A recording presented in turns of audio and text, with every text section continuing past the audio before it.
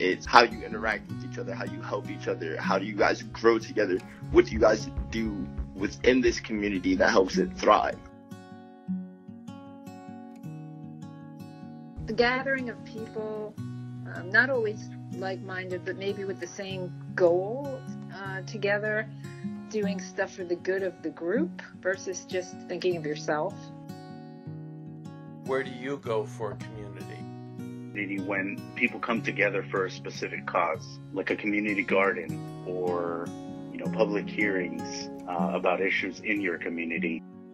Like I volunteered at the library. People around in your area and your neighbors and stuff. Predominantly my church.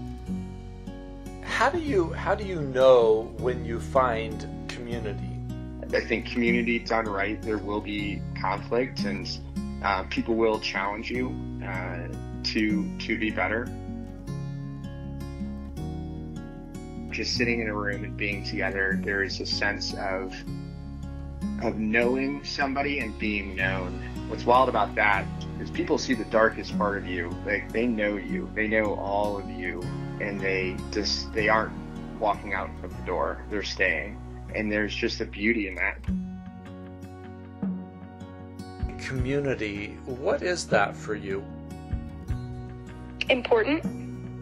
Community is anyone who is kind of there for you and you can always count on your immediate area that you live in.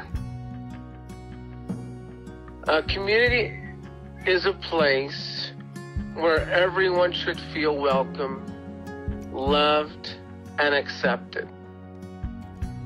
Community is something that uplifts and creates space for people to feel like themselves and to feel understood.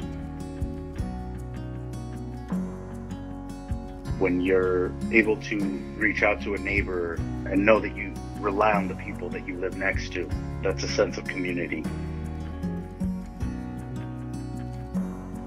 Community means a family outside of your home, a sense of belonging and a purpose.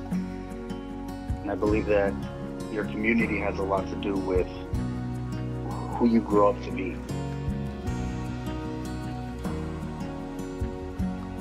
community is home.